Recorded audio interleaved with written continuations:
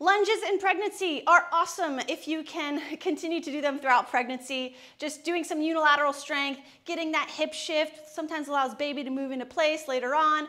Uh, great core, great everything, okay? So lunge throughout pregnancy if you can. If you can't, I know personally I get really bad case of pubic symphysis dysfunction during pregnancy, which is where your pubic bone ligament, ligament meets, gets really shifty and loosey-goosey, and it causes a lot of pain during hip shifts all my pubic symphysis dysfunction girlies out there, I feel you. I'm not gonna talk about that specifically today. I talk about that more in my bells and bumps program, but I'm just gonna talk about general terms, lunging during pregnancy, and a couple of options, especially later in pregnancy, if and when they get tricky.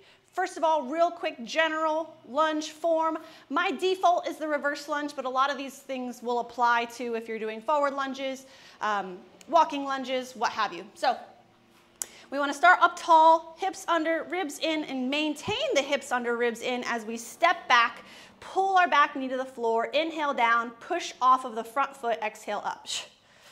So we want to avoid that butt sticking out. We want to avoid a super long leg here in the back. We want to keep everything pretty dang tall. And if you're working body weight, inhale down, exhale up, and make sure you're working those hands. So opposite hand comes up with that front leg.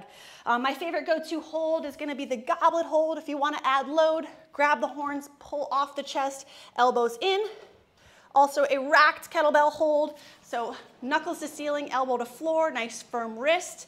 Um, but if lunges are getting challenging, but you want to keep lunging, at this point you're probably dropping the weight. Couple of great Modifiers for the lunge, maybe the weight of belly third trimester is plenty of load for you, then this would be it for you. So a great way to assist lunges is just pushing off of something, a chair, a bench, something a little bit high, and just take that inside leg back and you could push off of it just to have a little bit of assistance up. Another lifesaver during pregnancy is a suspension trainer. So you're gonna set it up at hip height, walk it back, elbows by the side, tension on suspension, and then same dance, we just wanna extend the arms, don't totally let go here, stay nice and tall, shoulders roll back, kiss that knee to the floor, and then you have that little assist, that little pull up, but we still get to say hello to those muscles in this range of motion that is really important to be able to maintain during pregnancy. So I hope that helps.